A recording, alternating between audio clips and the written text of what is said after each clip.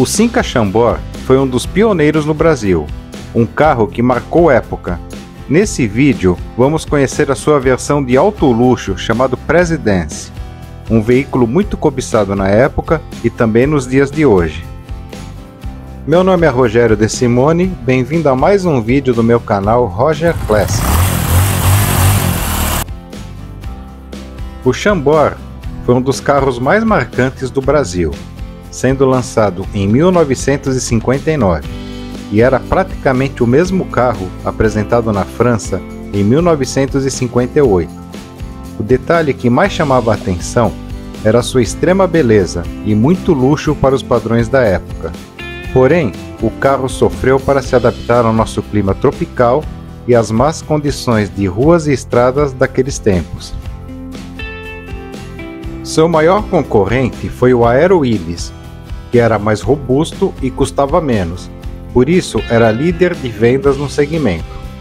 Apesar disso, a Cinca foi mais ousada no mercado, oferecendo uma gama de produtos bem maiores, como a perua jangada de 1962 e o modelo com características esportivas chamado Cinca Rally, lançado no mesmo ano.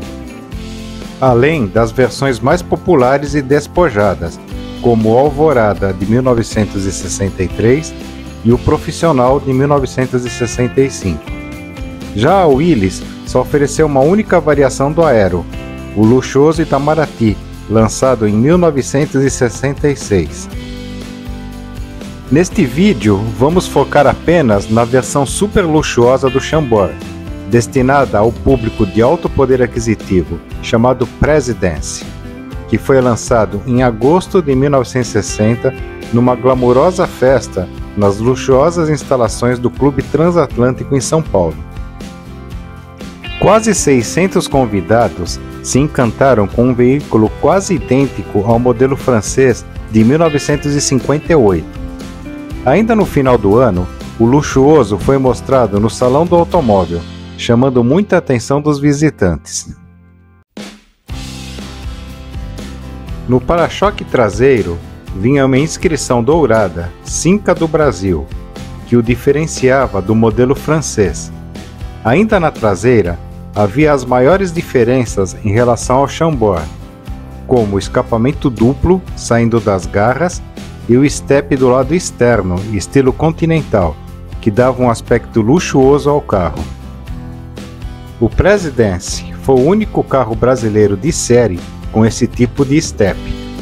Outra diferença era na grade dianteira, que vinha com um aplique denunciando o modelo.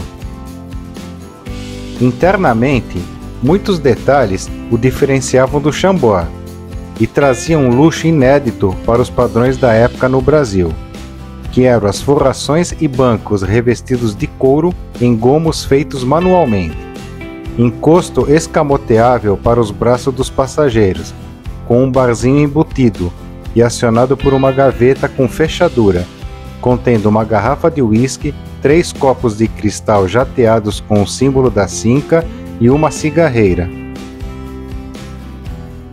A ventilação interna era melhorada em relação ao Chambord.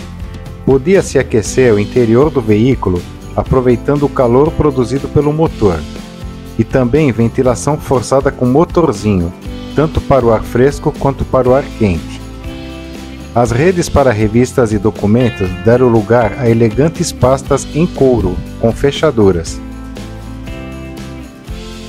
O jovem de hoje pode achar estranho um carro de alto luxo, destinado às pessoas mais ricas, não dispor de equipamentos como ar-condicionado, direção hidráulica, travas elétricas, entre outros, mas lembramos que a indústria automobilística brasileira ainda dava seus primeiros passos e ainda não havia tecnologia necessária no país para fabricar esses itens de conforto.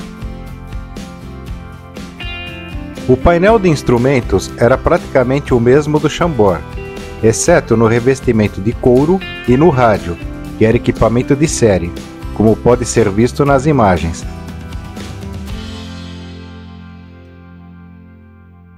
Inclusive, haviam alto-falantes na frente e atrás, sendo que no painel tinha um botão seletor que distribuía o som só na traseira, só na dianteira ou em ambos.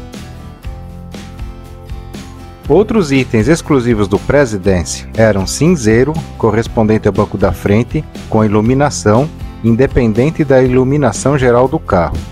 Na coluna C havia uma pequena lâmpada destinada aos passageiros do banco de trás, e era ladeada por uma pequena abertura protegido por tela, cuja função era permitir que o ar interno fosse expulso para fora, facilitando assim o fechamento das portas. Já o grande porta-malas era elegantemente revestido.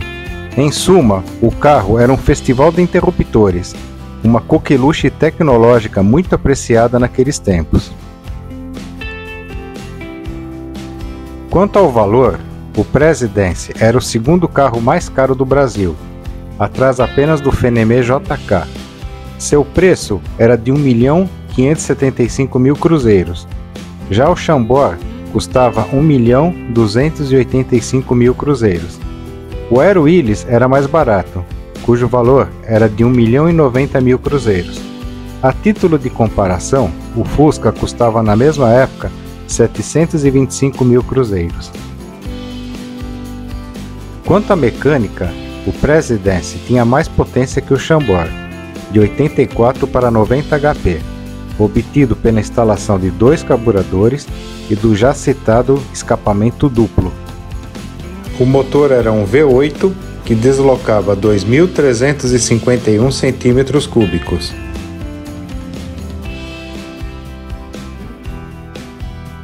Em 1964, a Simca lançou uma nova série do Chambord, chamada Tufão. Eu tenho um vídeo completo sobre a linha Tufão no meu canal, cujo link está na descrição. Agradeço se puder assistir. O Presidence Tufão ganhou várias mudanças visuais, como novos frisos laterais que eram duplos e mais retos, entre eles uma elegante chapa de alumínio a coluna C ficou bem maior e o teto mais alto, aumentando a área envidraçada. E as lanternas foram redesenhadas. Na frente, a grade ganhou dois frisos horizontais e o emblema tufão ao centro. E o capô ganhou duas aberturas para melhorar a refrigeração do motor. Internamente, as forrações eram novas e o porta-documentos foi redesenhado. O motor era um pouco maior, agora com 2.505 cm3, cuja potência subia para 112 HP, melhorando assim o desempenho. Entre 1960 e 1967, apenas 845 presidências foram fabricados. Atualmente, são veículos muito raros e cobiçados entre os colecionadores. Hoje conhecemos o Presidence, versão super luxuosa do Chambord. Se gostou, deixe seu like, faça um comentário e se inscreva no canal. Até o próximo vídeo.